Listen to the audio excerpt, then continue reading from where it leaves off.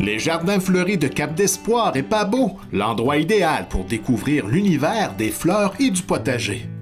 Engrais de toutes sortes disponibles, contenant et tout le nécessaire pour réussir sa récolte ou son aménagement paysager.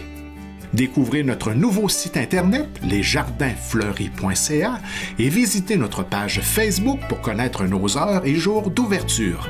La qualité, la variété, les conseils judicieux, c'est au 14-16 route 132 Cap d'Espoir et au 14 route Hamilton Pabot que vous trouverez satisfaction.